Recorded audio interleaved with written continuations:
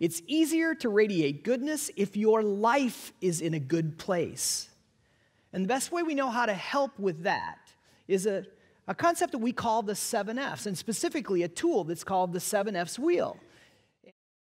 So the seven F's in alphabetical order are faith, family, finances, fitness, friends, fun, and future. Faith is at the beginning, future's at the end, fitness is in the middle.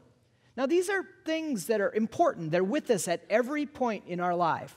And the 7F's wheel helps you assess how your satisfaction is on each one of these things right now.